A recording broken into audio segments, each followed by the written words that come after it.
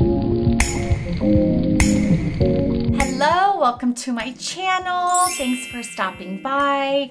So today, I always love to film things and get excited about things that I generally genuinely want to know for myself.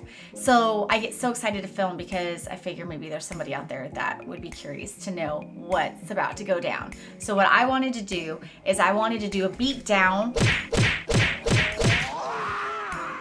with the Tarte Shape Tape and the Laura Mercier Flawless Fusion Ultra Longwear Concealer. I bought it, I was really excited to try it, and of course Tarte Shape Tape always owns Mi Corazon, but I wanted to see like really side by side, how do these go down? Can any of you guess which one is each side? So I did one side with Tarte, one side with the Laura Mercier, and I'm doing like a full review on it. Um, just to go over a couple of the details, you know, good old Tarte Shape Tape is an exclusive out of Ulta. It's 27 bucks. Just really quickly, they claim it's hydrating, long wearing, natural radiant, crease free. Okay, so a lot of us already know that. But the Laura Mercier is 28 bucks and it's claiming to be medium to full coverage, weightless, hydrating, and blurs. And it has a 12 hour crease resistant. And it does uh, recommend to use the Laura Mercier brightening powder, which I do happen to have. So I am going to do what they recommend and see what we, we think with that. And yeah, so if you guys want to see how these throw down, then keep on watching. Oh, and before I forget, I I always I hate even doing this, but I have to have to do my thing. Um, if you do like videos like this, you do enjoy this, please make sure to subscribe. Click the little notification bell so you do get notified when I do upload a video. And Okay, so I'm going to do the Laura Mercier on, I, will just, I guess I'll do my left side. And then I'll do, no, I'm sorry, Tarte on my left. I'll do Laura Mercier on my right. Um, I tried to figure out what shades would be closest. I'll put some, uh, I'll put a, a shot for you in the screen of the shades that I have in Tarte Shape Tape. So I tried to pick one that was as close as possible to Laura Mercier. I didn't realize it, but the, all my Tarte Shape Tapes are pretty like peachy, like undertone. But anyways, it's fine. But the, the one that I have, I have the Laura Mercier in 2W, which is two, it's in their light range, I believe, and it's warm and it's pretty yellow, so hopefully I don't look too crazy with the side-by-side, -side, but it's all good. We're doing it for the sake of this experiment. And we're gonna see how this Mama Jamma goes. But I'm going to just, I already did my makeup as I normally would. I did my under eyes with serum and moisturizer. I always use my Becca under eye corrector, so I'm gonna go ahead and just put that under my eye right now. And we'll get to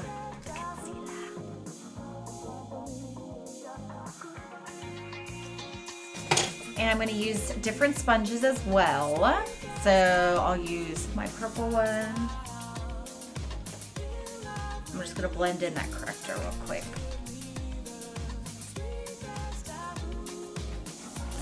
All right, let's get to it. So I'm going in with light neutral and Tarte. That's the shade I'm gonna be going in on. So I'm gonna just do three swipes And then I'm gonna do three on the right. So the wand is a little, I'm not sure if I'm crazy about the wand on the Laura Mercier. I guess it's cool it has some flex, but I don't know. I like the stability of the Tarte application a little better. As far as the consistency, the Laura Mercier does feel thinner, which I'm not opposed to. Tarte definitely just feels a lot thicker. So I'm gonna go in and start blending it out. Now, that's what it looks like with one application. I don't know if I like this sponge. I might switch it out. This sponge I like. All right, so let me get a mirror so I can see this. Okay, look at this Mama Jamma close they actually look kind of similar. I see a little bit more coverage on the Tarte Shape Tape side. It's definitely, you can see it's definitely covering up more of my under eye circle. So, which I'm not surprised. that there's more coverage on the Tarte.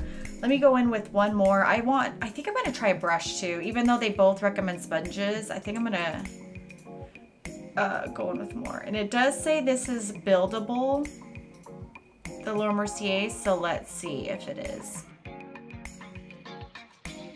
So now let's go in with the brush. I'm gonna use my Morphe G2. The Laura Mercier is blending really nice. It's um,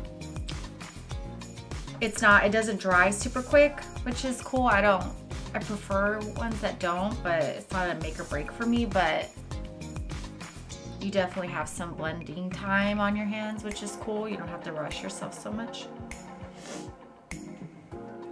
So that's with two coats and with a brush. So that will, will give you more coverage using a brush versus a sponge.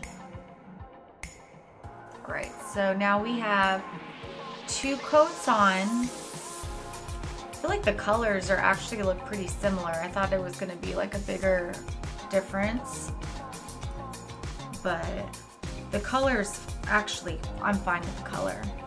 But I don't know how buildable this Laura Mercier is. It's not, I still don't have the coverage that I want and it says it's buildable to full, so I don't think it is. Let's go in with a third coat. Okay, so the third coat is definitely a lot better. I feel like now it's starting to look a little bit more equivalent. Like I could still even see some freckles peeking through on this side, but I feel like right now they're looking pretty equivalent now with coverage. And it does feel lightweight. I don't feel like I have a ton of product on, even though I did go in with three coats. So now I'm gonna set it. So uh, for the Laura Mercier, they do recommend that you use the Secret Brightening Powder, which I do have, and I do like it. I've actually been dabbling in it with a little bit with my Tarte recently. So I'm not opposed to setting both eyes with that. So we will go ahead and do that. I'm gonna use my Kat Von D. Make sure I have nothing on this powder, on this brush. So I normally don't go in really heavy with this stuff. It does uh, bring flashbacks, so I'm just gonna do a little bit of setting. And I just use a little bit of the residue that's on the cap. That's like all I use. Okay, so that portion is done. I'm gonna go to, I'm gonna do the rest of my makeup, see how everything turns out, and then I will come back, give my first impression thoughts, and then check-ins, and yeah, so I'll be back. Okay, so makeup's on. Um, been trying to just, you know, soak it all in, take some really close observations on this, and I'm not mad at the Laura Mercier side at all. Like, it's not bad by any means, but just as my initial first impression, um, it's definitely not as bright and smooth than my Tarte Shape Tape. I don't know, we'll try to zoom you in. Anyway, so it definitely looks like brighter and smoother. I'm seeing more of my freckles coming through and some more texture coming through with um, with this concealer. So um, the creasing, I hate to say this with the Laura Mercier side, does a little bit more creasing. Unless it's like just that eyeball has more wrinkles, but I see just a faint little bit more right here. So I mean, basically, my initial impression is that I think it's a fine concealer. I think it would be great for um, someone that has flawless skin that really just wants maybe some a little bit of brightening for a no makeup makeup kind of day. I really don't even think it would do much for spot concealing, but it is pretty for a natural radiant type of look maybe in the summer and you want to just brighten up a little bit under the eye without doing like a full under eye beat down and all that jazz like I kind of see it for that purpose but that for me that's really what it would be suitable for I mean it doesn't look drying I think it has a very natural look to it which I do like and yeah I mean it's not bad it's not bad but I don't know if it's enough to like stray me from my Tarte Shape Tape. And actually, to be honest, you know what this really reminds me, what Laura Mercier reminds me of? Maybelline Fit Me. I think it, it really reminds me of Maybelline Fit Me because I wear the, this on my no makeup makeup days or just no makeup days and I put a little bit under my eye and I feel like it reminds me a lot of that. It gives you some of that nice coverage but it still doesn't look drying. You don't really have to do a lot of setting with it. So for me this could be a possible dupe for Maybelline Fit Me. Hmm. Interesting. Okay so that's my initial review or, you know, first impression on it. Um, I am going to wear this throughout the day. So I will do a check-in and we'll do a last ditch effort to see how it at least wore. It is 10, 10 15 uh, a.m. So I'm going to be wearing this all day or as long as I can. And yeah, so I'll see you guys later on. So we're back. It's 6.30, so I think I'm done. My eyelashes are flapjacking in the wind. I think it's time to call it a day. But so I have my final opinion on the concealer. So I've been like trying to, you know, really pick apart everything about this concealer, the good, the bad, everything compared to my Tarte. And there's some pros and there's definitely some cons. Um, as far as um, the wear time, it did, it did hold up well. I did not notice any um, creases other than when I first noticed in the beginning. So that could have just been this eyeball or maybe I did something or I set it less on that. So like I'm not going to dock them anything on that because it did hold up really, really well. I really like the fact that um, it did have like some moisturizing properties from what I could see. So I did really like that my under eye didn't look super dry, which was awesome. I know Tarte Shape Tape has a little bit more of a matte uh, vibe, which is the probably the one thing that I dislike about Tarte Shape Tape because I'm just not a super matte kind of gal. And so I really appreciated the fact that the Laura Mercier was uh, a little bit more moisturizing and had a little bit more of an, a luminosity that came through it versus just like a straight flat matte. Um, what else? Let me look. What else? What else? What else?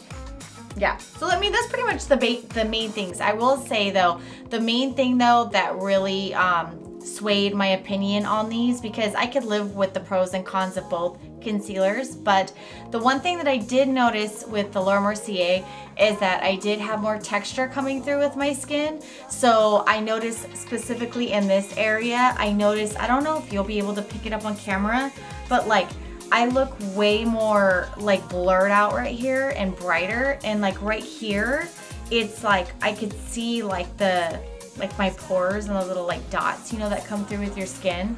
And definitely there is less coverage. So I could get, I'm okay with, it doesn't necessarily have to be full coverage concealer because there are days that I don't want to be fully like beat down and I want to have a little bit more of like a glowy youthful look. So I was, I'm open to the Laura Mercier, especially on summer days and I don't want a ton of makeup on and I want a moisturizing radiant concealer. I think that this is like a really good match for that. But the main things that I didn't like was that I could see the texture and yeah, I think that was like the main thing I would say. So, but otherwise I do think it's a really good concealer, but if I'm looking for a full beat down, I'm probably not gonna go to that concealer, but on a warm summer day and I want a, a nice little like moisturizing glow under my eye, I will go for that. But so that's pretty much my takeaway from it. I hope it was some help for you guys. If you like this video, if you did take away something from it, please make sure to click a little like key if you can. And that's it. So I love you guys and I'll see you on the next one.